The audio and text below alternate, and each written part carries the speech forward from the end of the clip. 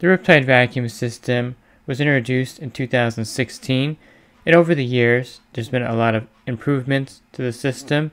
I think one of the things that sets Riptide apart from other companies is that they're always innovating and updating their product. As far as ability in picking up leaf debris, not much has changed since 2016.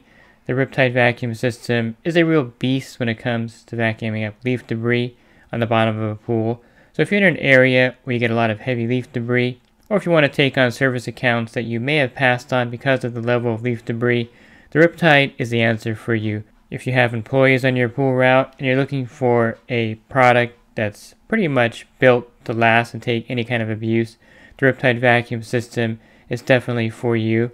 They've changed, of course, their design over the years, and I think it's all been to improve the reliability and the durability of the vacuum system and of the cart itself. Everything that's been done to the Riptide over the years has been done to make it the best vacuum system on the market and the pool pro's choice for a vacuum system for their pool route.